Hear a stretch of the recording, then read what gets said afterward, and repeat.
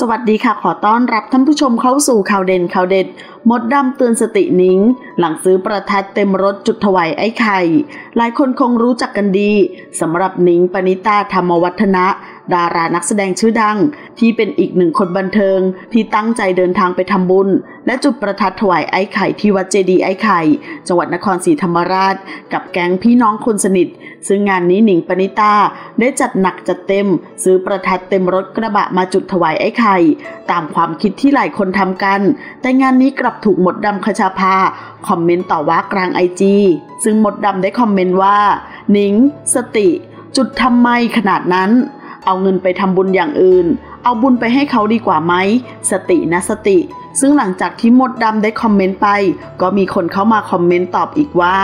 การขอพรเราต้องมีสัจจะค่ะ ทำตามที่เราพูดไว้ค่ะ สิ่งที่เรามองไม่เห็นสัจจะคือสิ่งสำคัญ บุญอย่างอื่นเราก็ทำอยู่สม่ำเสมออยู่แล้ว เราเชื่อในสิ่งที่แม่หนิงทำถูกต้องเชื่อในสิ่งที่เฮ็ดซึ่งงานนี้ก็มีคนเข้ามาคอมเมนต์สนับสนุนสิ่งที่มดดำเตือนสตินิ้ง ซึ่งเขาได้คอมเมนต์ว่า